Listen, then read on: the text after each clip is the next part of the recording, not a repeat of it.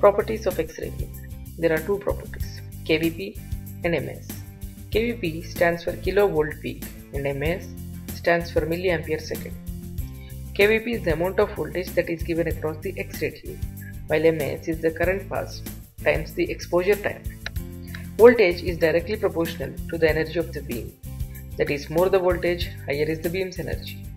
As energy is directly proportional to the penetrating power of the beam, KVP is proportional to the penetrating power of the beam. MAS has no effect on energy, so no effect on penetrating power of the beam. Contrast. What is contrast? Contrast is the ability to see something in relation to the background. In order to change contrast, you need to either change the color of the ink or change the background. Increasing KVP means increase in penetrance, therefore the image will be more whiter or contrast decreases. Therefore, increase in KVP causes decrease in contrast.